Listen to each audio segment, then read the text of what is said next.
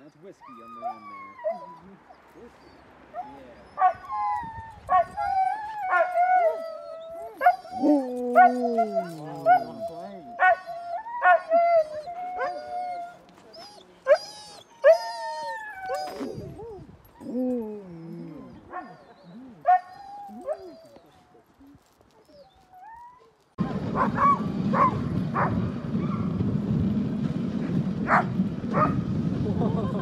we're dog sledding, everybody. Chuck. Chuck.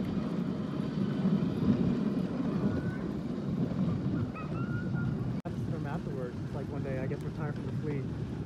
Yeah, when they get retired, a lot of how they get adopted is through what we're doing right now. Just people fall in love with a certain dog. Uh-huh. And you know, we do a lot of screening for where they go. We just want to make sure they go to good families. Right.